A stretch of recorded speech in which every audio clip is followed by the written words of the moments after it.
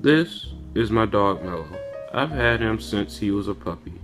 He is one years old and is a red-nosed pit bull.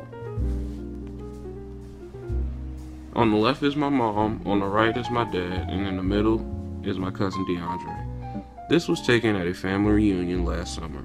We had a great time.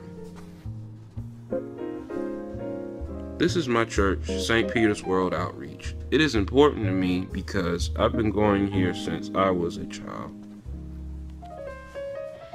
This was taken on Christmas, my favorite time of the year. It was the last tree in the house because everyone stopped believing in Santa. This is what I see myself doing after I graduate from college becoming a CPA.